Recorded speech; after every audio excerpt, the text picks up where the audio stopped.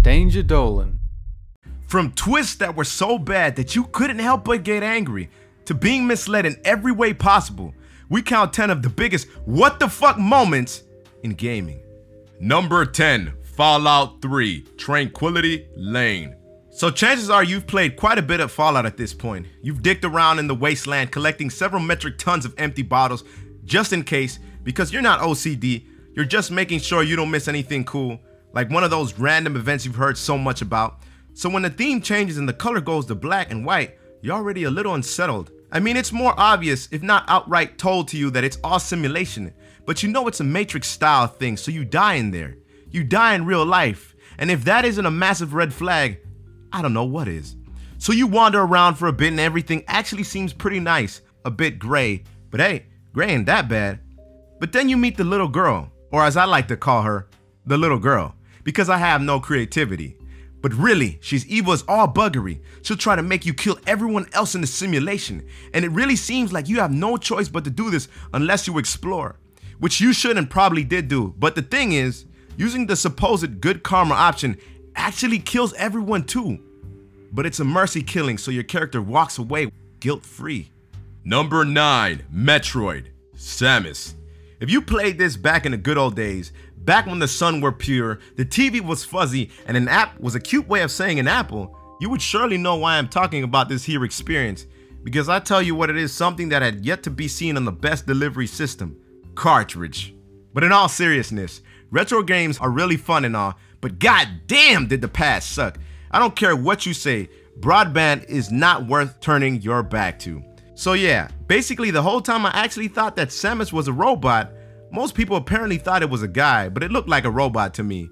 I mean, why wouldn't you want to play as a badass robot?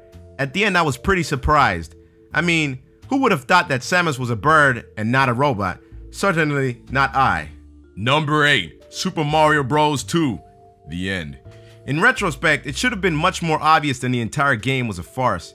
I mean, it played nothing like the original. The main goddamn mechanic of Super Mario Bros. was that you could jump on, pop, and to make them drop, then all of a sudden we got turnips. And that asshole who kept telling me the princess was in another castle?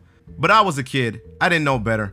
I read Goosebumps and actually felt scared after doing so, but even though I enjoyed the masterful writings of R.L. Stine, I didn't take the it was a dream the whole time thing well at all. I mean, it's not like Mario's a narrative experience, but still, if I was dreaming, I would have had robots and a monster that looked suspiciously like a man in a suit chasing me through molasses.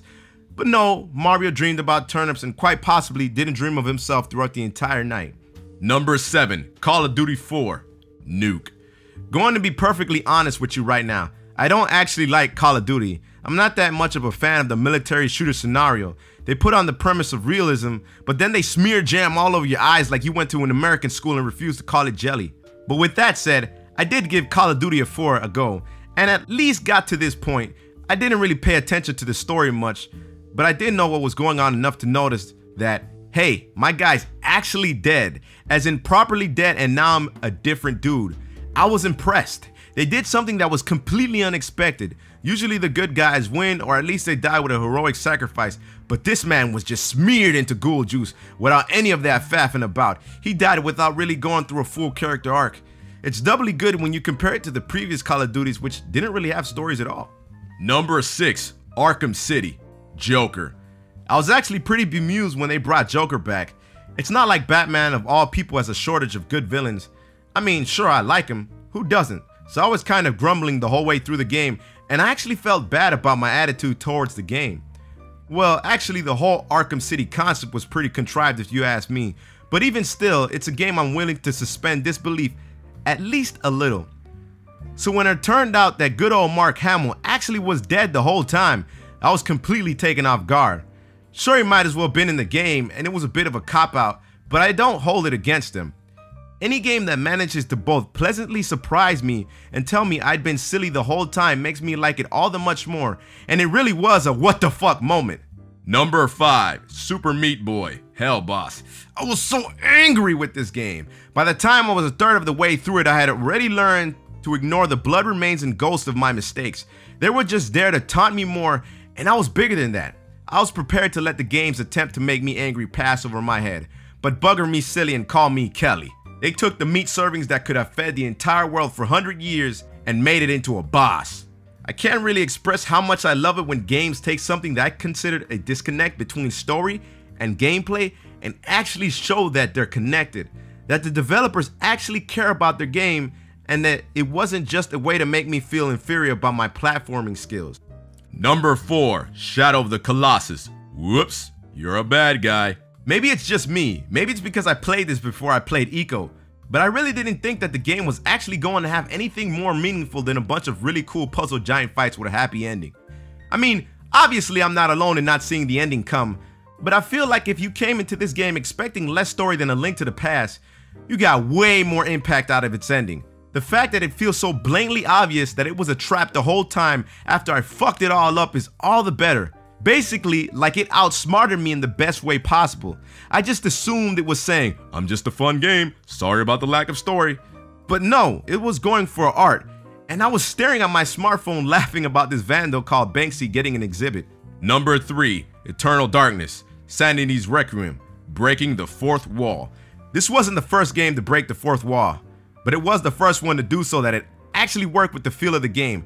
Don't get me wrong, Psycho Mantis was cool as a walrus whiskers, but this really added to the fear in the game. It even made me question my sanity, at least a little. Because when you start having the game mute, or getting a disc read error, or having a girl's head pop off, you genuinely start to ask, is my GameCube broken?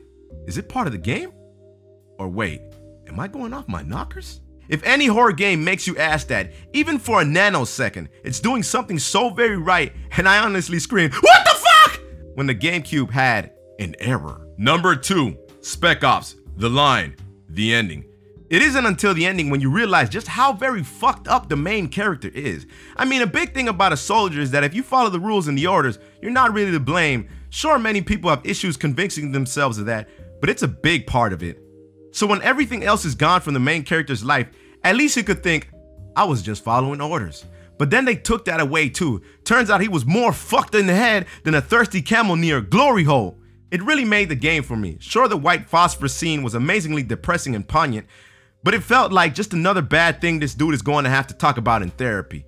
But when the ending came along, I couldn't see any path to redemption. This man could take without at least a decade of medication plus therapy and then dedicate the rest of his life to charity organizations.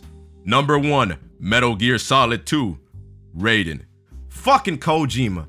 He makes some crazy ass stories that are hard not to love, but when he pulls a complete head fake and makes you play as a brand new character without any preparation, while also making you think you get to play as that old badass Snake again, I genuinely believe that if he didn't pull this move, people would actually talk about the intended what the fuck moment at the end. But we're not talking about that because he wanted to fuck with us right from the beginning.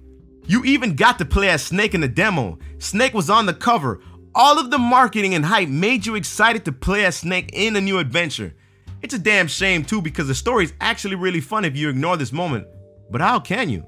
It's the biggest what the fuck moment in all gaming. You can't just go and ignore it. That's it for this countdown. And have a go!